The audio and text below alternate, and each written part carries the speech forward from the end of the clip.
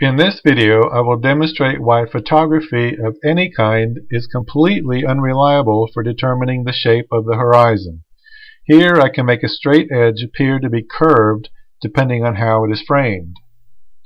Here I can make a curved line appear straight by getting it framed just right.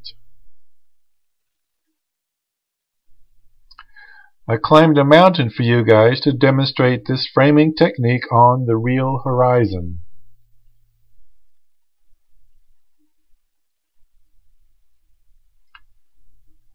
Now here is where it can get to be intentionally deceptive.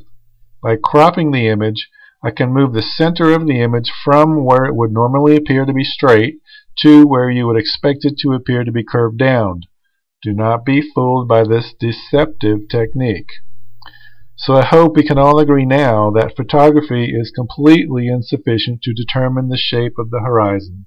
Thanks everybody for watching.